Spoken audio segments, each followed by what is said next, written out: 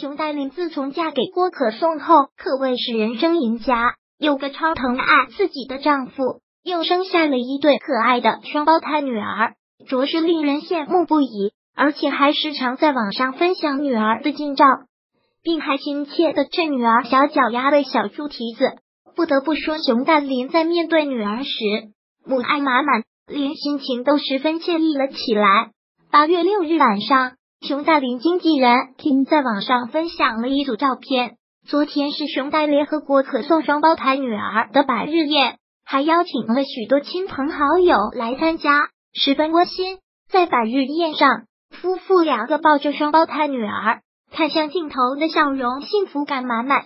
尤其是熊黛林浑身散发着母亲的温柔，亮眼十足。女儿在她怀里乖巧又安静，一双乌黑大眼和小巧的鼻子。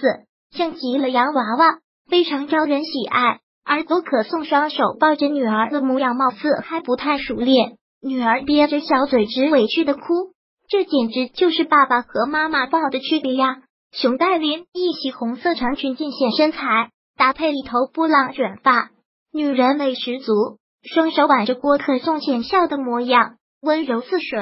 那 S 身形可以看出，从生小孩到现在才没几个月。就已恢复到原来的身材，辣妈范十足。郭可颂则一身黑西装，干练十足，双手交叠的放在一起，很有绅士范。不得不说，夫妇俩站在一起，莫名的十分般配。熊黛林弯腰配合拍照，连看向镜头的眼神里都充满了温柔。